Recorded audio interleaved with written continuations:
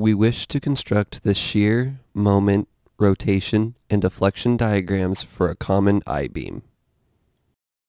To find the equation for the shear force, start by summing the moments about point B. The 50 pound per foot uniform load can be treated as a point load at the center. Solve for the reaction force at point A. The force at point A equals 250 pounds. Now cut the beam just before the end and sum the forces in the y direction. Treat the beam length as an unknown value x. Solve the equation for the shear force V. Clear the command window and workspace and format the new script. The beam is a W4 by 13 steel I-beam. The modulus of elasticity for steel is 29 times 10 to the 6th psi.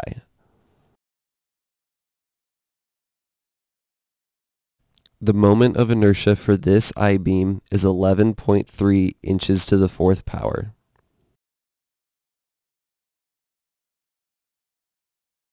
Because we will need to integrate later, we will solve the equations symbolically. Simply type syms followed by the desired variable x. Now type the equation for the shear force.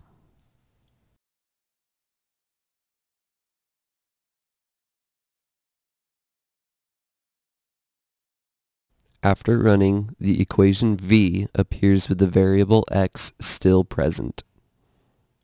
Without using syms, we would have gotten an error because MATLAB will try to solve V for a value of x that hasn't been specified yet. Now enter the interval we would like to evaluate the integral over.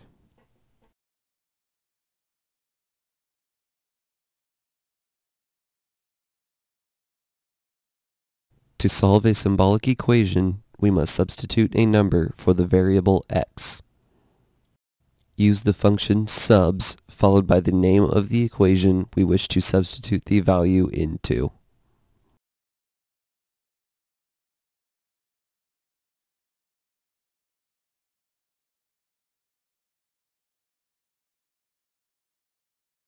As we can see, v has been evaluated at each point of the interval x.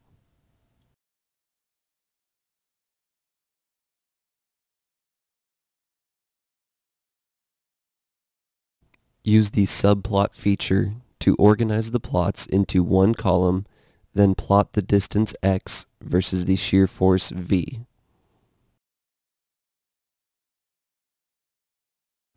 Now we will add the necessary features to the plot.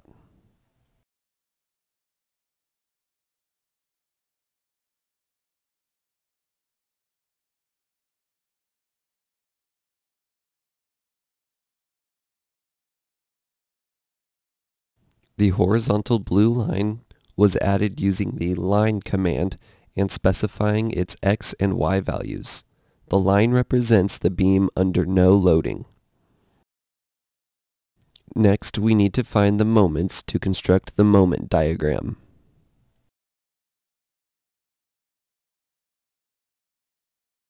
The equation for the moments can be found by integrating the shear equation. To do this, use the int command. Integrate the symbolic equation for shear, lowercase v. Here we can see the solved integral. MATLAB simplifies symbolic expressions by default.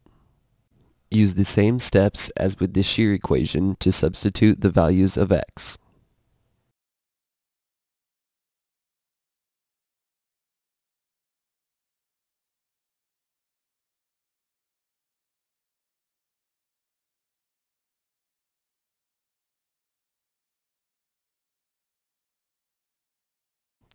Now plot the moments versus x and use subplot to place this graph below the shear diagram.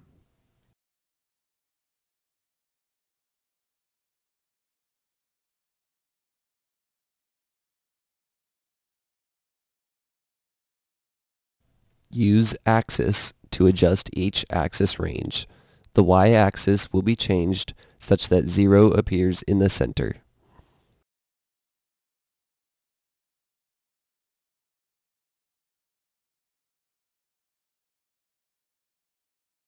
Now we have the completed moment diagram below the shear diagram.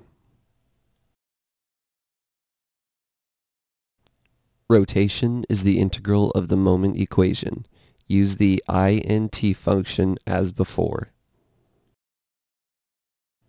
Because the rotation is 0 in the center of the beam at x equals 5 feet, not when x equals 0, we need to find the constant of integration.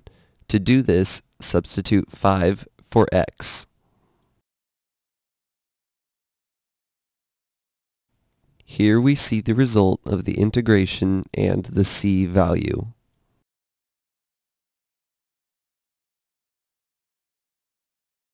Use the double command to convert the fraction to decimal form.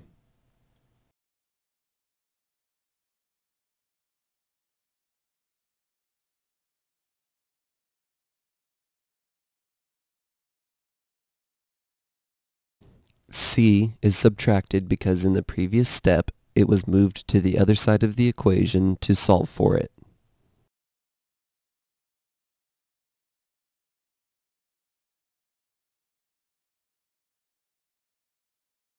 Divide by 144 to convert the units to feet.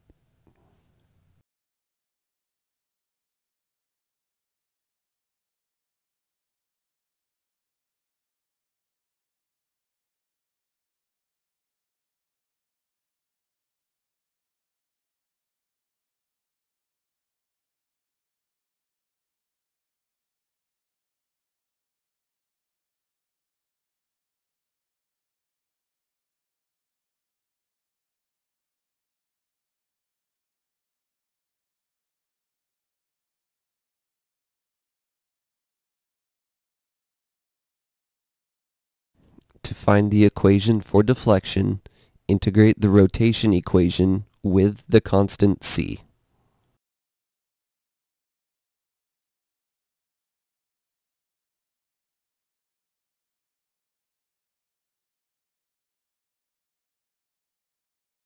Adjust the y-axis to center the horizontal line.